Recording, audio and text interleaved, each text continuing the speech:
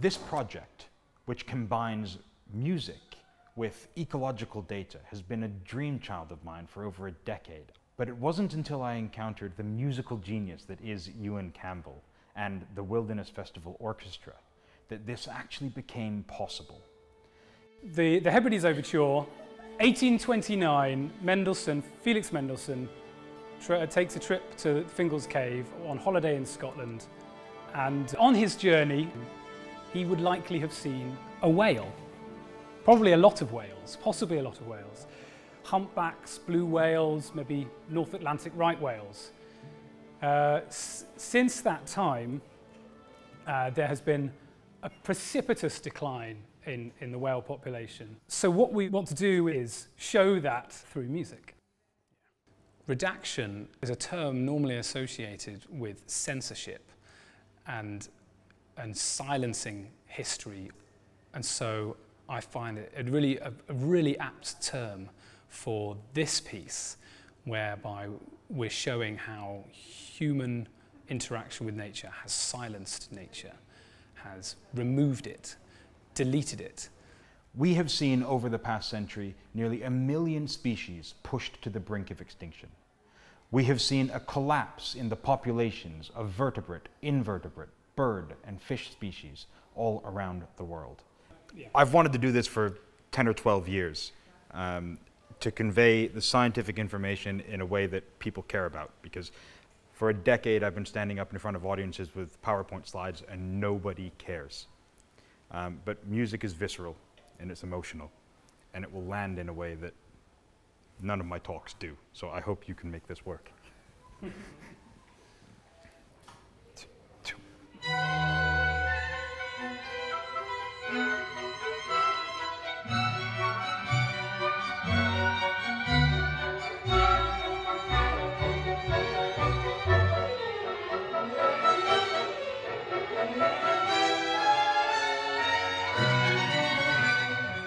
The Hebrides Overture was written by Mendelssohn, inspired by the beauty and vitality and action of the sea. It's entirely conceivable that part of this score will have been written by the light of a whale oil lamp. There are many pressures on all whale and cetacean populations today. These include our overfishing of critical species, it affects what's available and left for the whales themselves. And the long hangover from extensive commercial whaling. To show that in the music, I've allocated a number of bars to every decade and then removed the notes as the whales would, would be removed. The ex musical expression is truncated, is uh, curtailed it becomes very hard to play.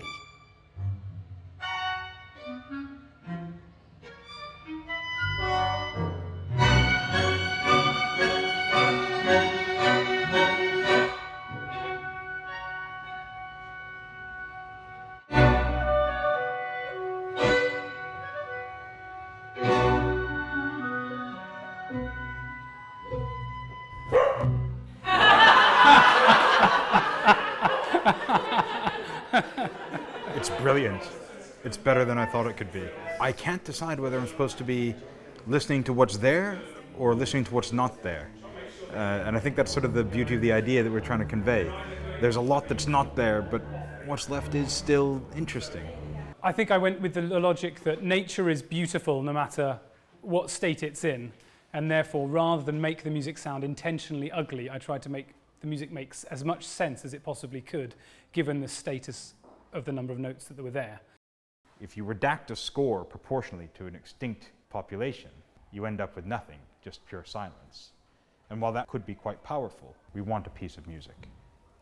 So we searched through the different whale populations and we found the North Atlantic humpback whale. It made sense geographically, it made sense chronologically.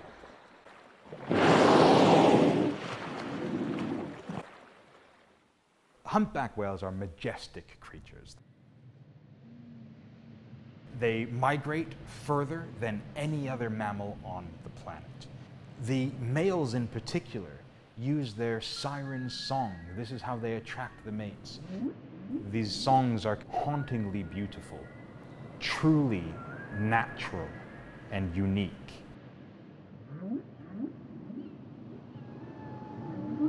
And they're getting quieter, fewer and farther between, as populations collapse and disappear.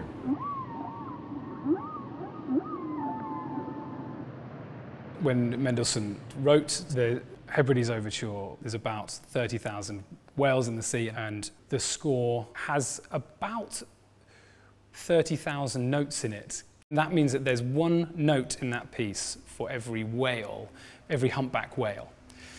And so every time I delete a note, I am showing how we've deleted another humpback whale. That particular population has seen a precipitous decline, but we can also see that when the seas are better managed, populations can start to rebound.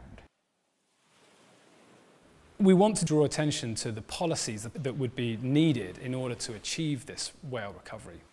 And so the last part of the piece actually looks into the future, allowing an 8% rise in population of the whales every decade.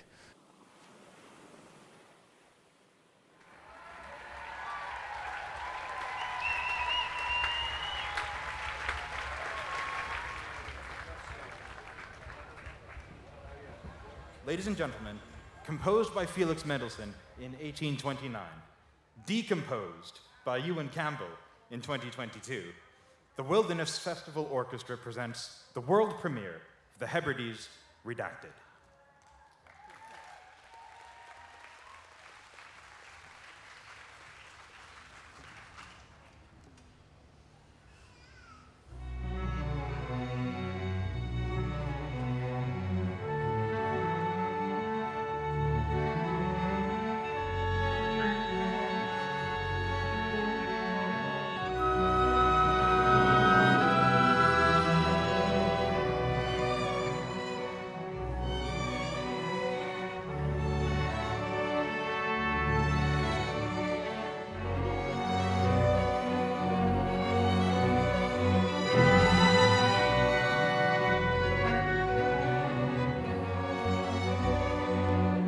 Eighteen forty, the redaction begins, 95%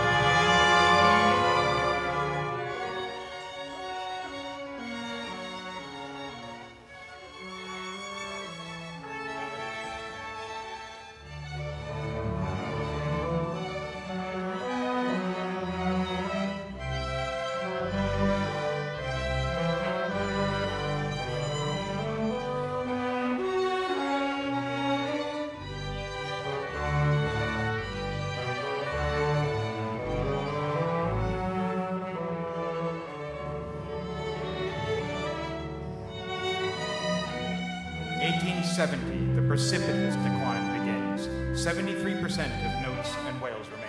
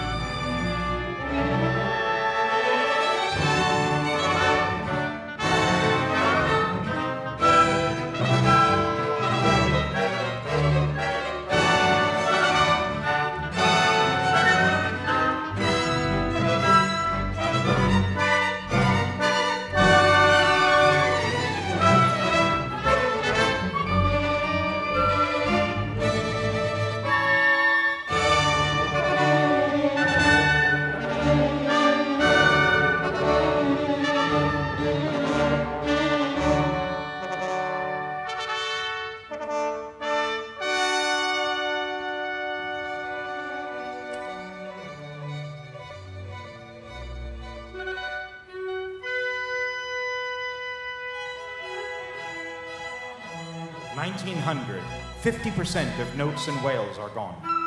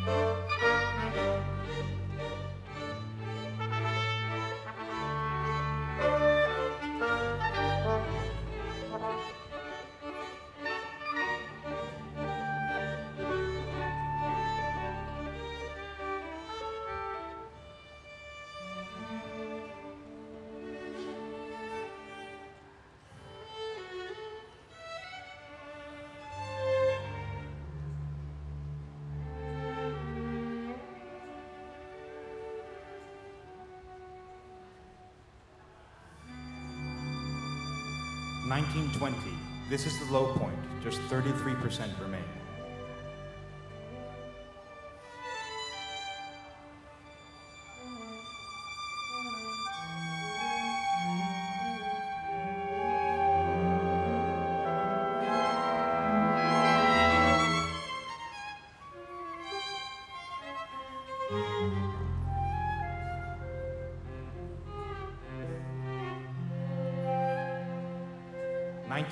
1931, 22 nations signed the world's first whaling convention, and whales begin their slow recovery.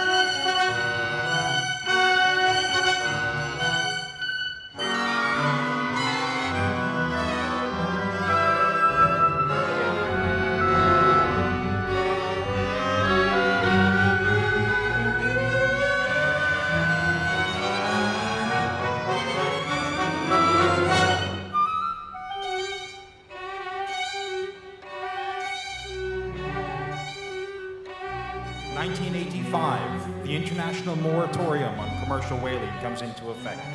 45% remain.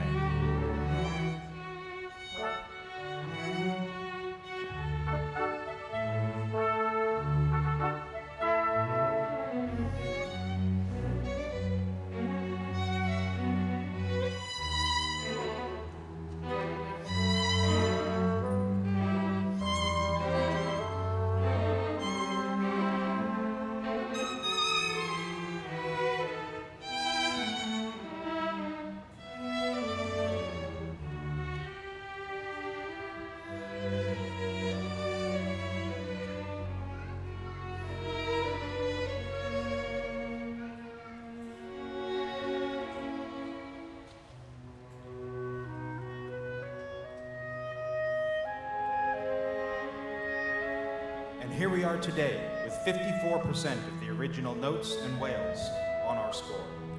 But now we're going to fast forward through time to show you what could be if we protect the food chain through enforced marine protected areas, if we reroute maritime freight to reduce ship strike, and if we minimize ocean pollution, especially discarded fishing gear, these whales and our score could return to their full glory by the year 2100.